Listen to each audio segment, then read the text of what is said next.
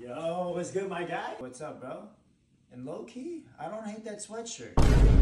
Um, okay. Th- does that mean you don't like my other sweatshirts? Nah, I mean, I don't hate them. I- I've definitely seen better, but I, I don't hate them. Thanks, I guess. Yo, I'm trending all over SportsCenter. Look at this. What do you mean? Dude, I crossed this guy so bad his ankles shattered. Then I threw it off the glass, took off from half court, did a 360 windmill, and I dunked over three people. Oh, that's that's not a bad move.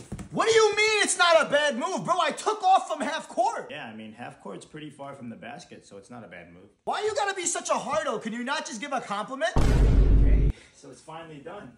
This is my new gaming setup. What do you think? Yeah, I mean, I can see how this has potential. Bro, what the hell does that even mean? Yo, I can't believe it. I just got the news. Oh, calm down. What's the matter? I can't believe this just happened, bro. I just got elected. I'm gonna be the next president of the United States. Wow.